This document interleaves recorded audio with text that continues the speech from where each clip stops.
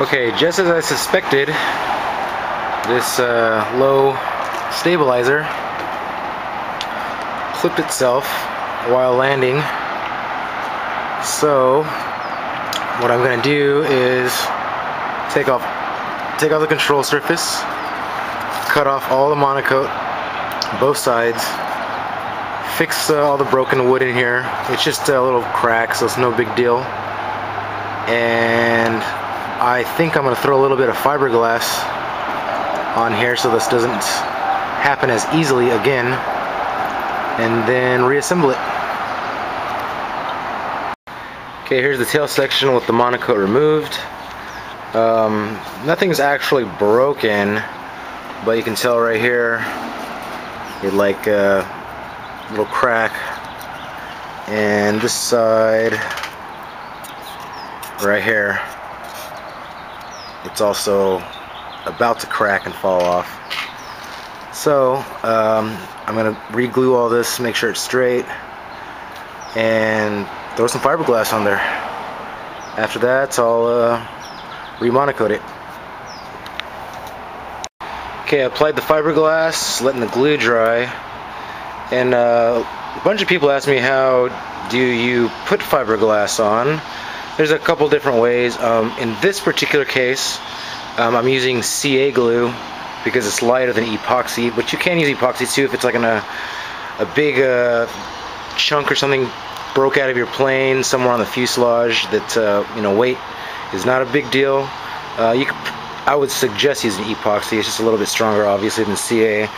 And then uh, this is the fiberglass. What it looks like. It looks like a a curtain, a really flimsy curtain it's actually fiberglass uh, sheeting that you can get at uh, usually any hobby store.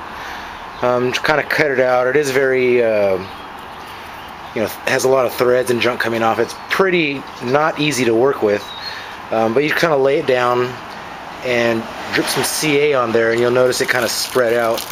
And what I use is uh, just a Ziploc bag, put over my finger, and just uh, kind of massage it in there the fiberglass will, uh, if you do it right, it, you shouldn't even see it. It should uh, just kind of blend in with the wood. Um, I, don't remember how many ounces this is. It's really small, um, but they, they come in different thicknesses, different ounces is how they're measured. Uh, this is pretty small for uh, jobs like this, and I'm hoping that this little fiberglass that I stuck on here will strengthen up this stabilizer a little bit so I don't have to do this ever again. Um, when the when the uh, glue is done drying, I'm gonna cut out all this, uh, you know, all this excess, and basically it's just gonna be on the wooden part right here, right here, back here, and a little bit right here, on both sides. And uh, once that's done, I'm gonna take some sandpaper uh, and just kind of make it a little smoother, so that way when I put the MonoKote on you won't be able to see uh, the fiberglass job. Here's the rough cutout after I um, removed the fiberglass. You can see that there's just a little bit of threads hanging and uh, nothing a little sandpaper won't take care of.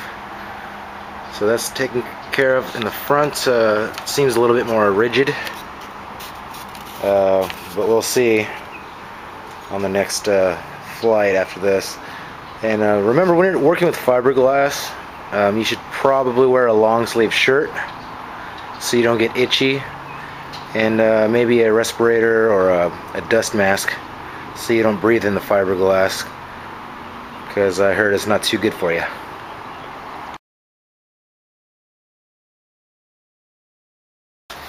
Okay, uh, MonoKote's applied.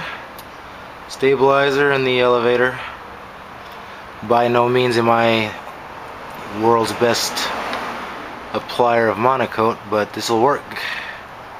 Um, the color I chose is uh, pretty close.